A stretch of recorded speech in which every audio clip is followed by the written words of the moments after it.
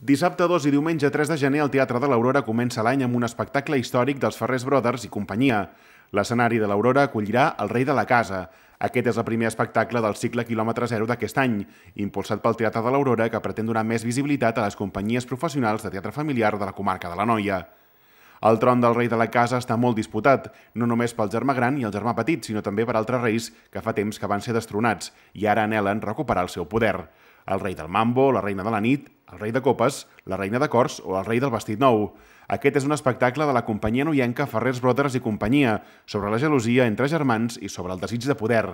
El diumenge, dia 10 de gener, serà el torn del segon espectacle del cicle, Raspall, de Teatre Nu, un conte de Pere Caldés que parla de la necessitat de jugar, d'imaginar i de creure en la fantasia. El realisme màgic de l'autor català s'expressa en aquest relat per infants que es va recollir a Cròniques de la Veritat Oculta i que la companyia noienca va adaptar al teatre i va estrenar l'any 2012 al Festival Grec de Barcelona. La creació recull el joc de l'autor i el posa sobre l'escenari per oferir una proposta en què la complicitat i la veritat dels infants es contraposa amb la fredor i la lògica dels adults. El cicle Kilòmetre Zero, que celebra la seva sisena edició, és un projecte impulsat pel Teatre de l'Aurora amb col·laboració de les companyies professionals de teatre familiar de la comarca de la Noia, amb l'objectiu de donar més visibilitat i apropar al públic els seus espectacles i el seu treball creatiu. Amb aquesta voluntat, el cicle Kilòmetre Zero, a part de mostrar les creacions de les companyies professionals durant l'època de Nadal, també les vol donar a conèixer de portes endins, organitzant diverses activitats paral·leles com ara tallers, visites guiades, exposicions i d'altres activitats.